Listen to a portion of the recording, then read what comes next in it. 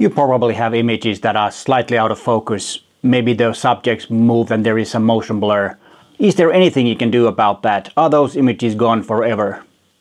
Well, if you use Topaz Sharpen AI, you might rescue those images. Hi there, my name is Peter Forsgård and I am an Olympus visionary and a professional photographer from Helsinki, Finland.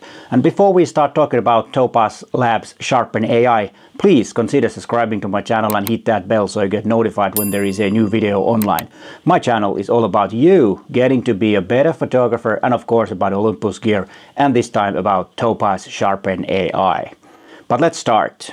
Topaz Labs has several different AI-driven image editing softwares for different purposes. I have tested the Denoise AI and Gigapixel AI and you can watch them from there. Those softwares have worked really, really well, so it's really interesting to see how Sharpen AI works. What's good about the Topaz Sharpen AI is that the uh, user interface is very familiar if you have used other Topaz Labs software. I really like that it's it, that it's uh, very, very similar. The first thing you see is the, of course, you have the image area where you see the image. Then you have on the right, you have all the tools.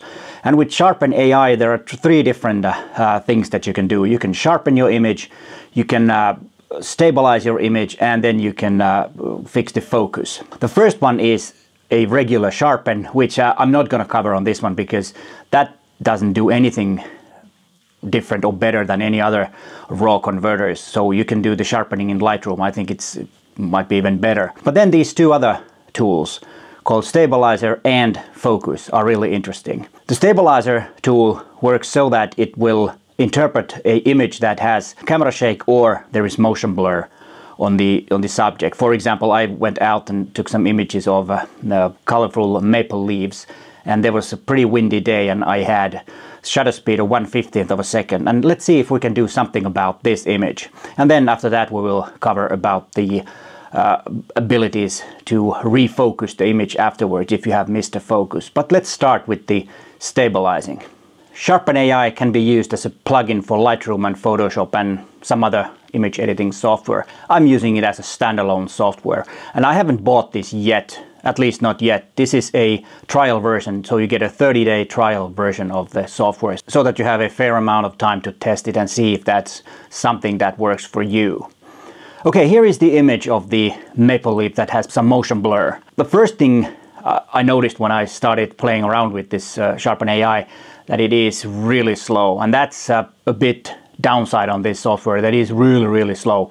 You can speed it up a bit by turning on the GPU acceleration on from the preferences and I recommend using that. But uh, if you have a, a bit older uh, computer this software is really really slow so it's not for if you have a vast amount of images to uh, fix, then it's not for you. But if, if you have occasionally some motion blur or, un, or, or unsharp images because you missed the focus a bit, then this might be something that you want to try. I recommend turning off the uh, auto update preview. This will make it a bit faster. So, so then you can actually decide when it will make a preview. But as you can see from this maple leaf that it actually works pretty well. Here is a comparison. This is before and this is after. And of course it's not perfect, the after version, but it is sharp enough for social media, for example. If you have a image that you really, really want to uh, post on social media or on a website where, where it's uh, not that big, then this works really like marvels. Of course, if you have to make a big print, then this is not the solution. But for most of us who do not make really huge prints, this is a really, really good way of making the a bit uh, blurry image look a lot, lot sharper. And it works on an image like this when, when the unsharpness is kind of like leveled. But if you have uh, a narrow depth of field and you've uh, taken an image like this, then it might not work perfectly because if you have some uh, bokeh in the front or, or unsharp because of the shallow depth of field, then that won't look very natural. But of course, if the image is uh, presented as a, in a very small size in social media, this could go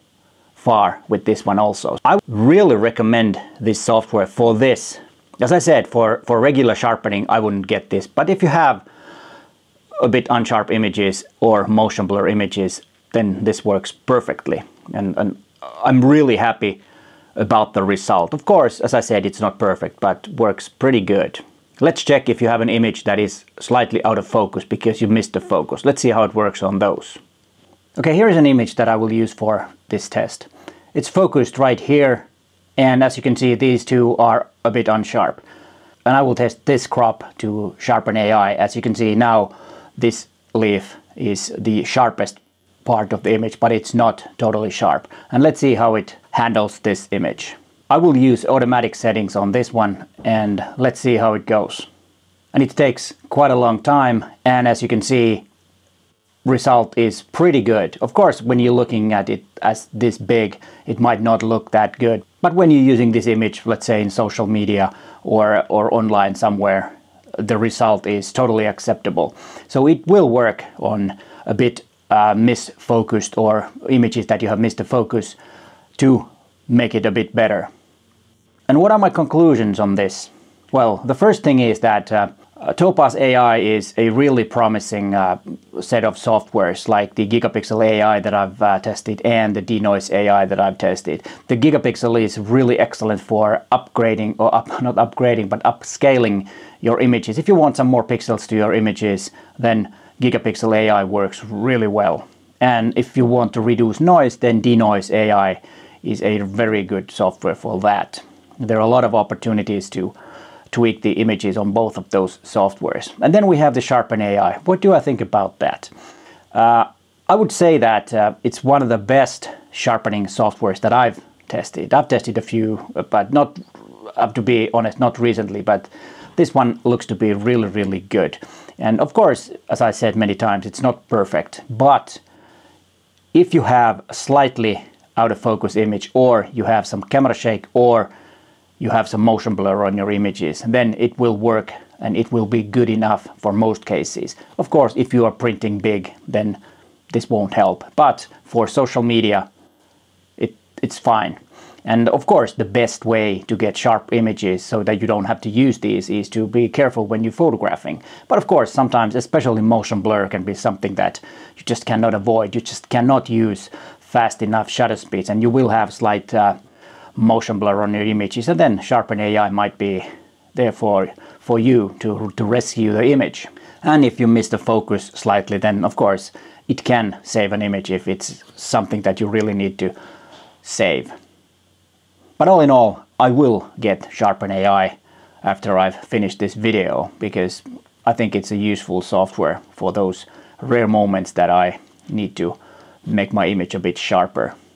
And if you're interested in other Topaz uh, Labs uh, AI-based software, here are some more videos about that. And the other one is about uh, getting your images sharp in camera, which of course is the best way. But hey, thanks for watching and bye for now.